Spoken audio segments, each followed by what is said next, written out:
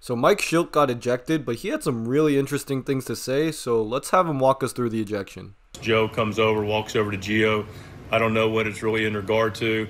Um, it's uncharacteristic. I walk out, see what's going on. He said he needs to change hats. Turns out that Dan Bellino had um, watched Gio come in the game and then goes over to Joe, whispers ear. Joe goes to the mound, and then you know listens that Gio needs to needs to change his hat. Now, why does Gio need to change his hat? Well, if you look at the bill of the cap, there is a funky little dot there. Pine tar, foreign substance. Let's see what Shildt has to say.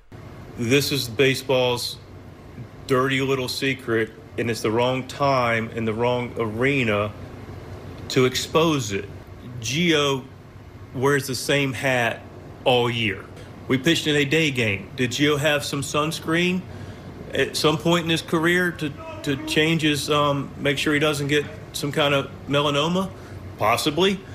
Ah, so Shildt is making the claim that it's possibly sunscreen on Gio's hat. Now, if you look at this game from a couple days ago, the last time the Cardinals pitched wearing that hat, that same spot is there.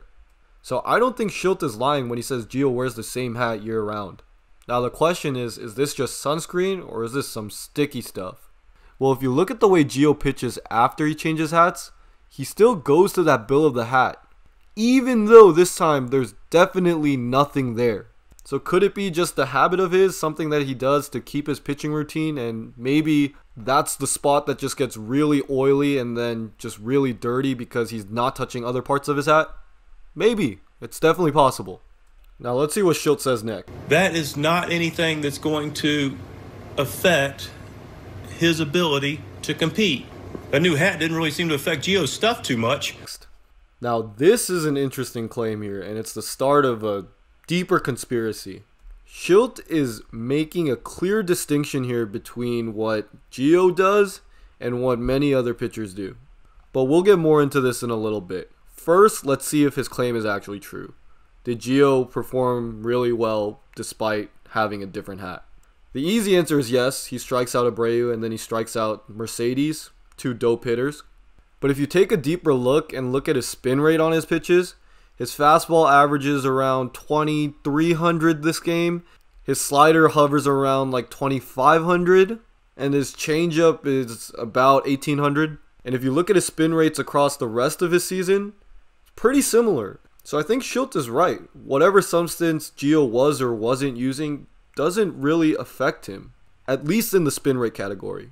Now let's delve deeper into what Shildt is actually trying to say about the state of baseball right now. There are people that are effectively and not even trying to hide, essentially flipping the bird at the league with how they're cheating in this game with concocted substances. There are players that have been monetized for it. There are players that are obviously doing it, going to their glove. But speaking of integrity, how about the integrity of the guys that are doing it clean? So according to Shildt, there are certain substances that are legal and certain substances that are not legal. Now, this old article from Bleacher Report in 2013 stated that, at least during that time, sunscreen and rosin was very, very popular among pitchers. But also, and more importantly, it stated that it doesn't make the ball do funky things. It just gives a better grip. And that's what Shildt says in this next part. Is our house 100% clean? I certainly hope so. But let's go check the guys that are sitting there going their glove every day with filthy stuff coming out, not some guy before he's even stepped on the mound with a spot on his hat. Can I tell you 100% that all our guys are 100% clean with nothing, you know, other than some sunscreen and some rosin, which the hitters don't mind, by the way, because they want the grip. Hitters don't mind the grip. They don't want the stuff that's making the ball do wiffle ball stuff. You want to police some sunscreen and rosin? Go ahead. Get every single person in this league hit by pitches will just continue to go up, balls will get away. But why don't you start with the guys that are cheating with some stuff that are really imp- impacting the game and impacting how people play this game? Now, first of all, I think it's funny that he doesn't even answer his own question about whether his players are doing illegal things or not. Sure, at the beginning he says something like, I hope they're not, but that's not really answering his question. And the second time he doesn't even give an answer to his question, he just goes on a run on sentence. Kind of like what I'm doing right now. But anyways, he makes a fascinating point here that it's possible for pitchers to get better grip without just dramatically increasing their spin rate. And I think, I don't know about you guys, but that sounds like a healthier form of baseball to me. Don't get me wrong, I love great pitching just as much as the next guy, especially when it's my team doing that. But I don't know. I think hitters need a chance too. Shildt's a smart guy. He's pretty dope.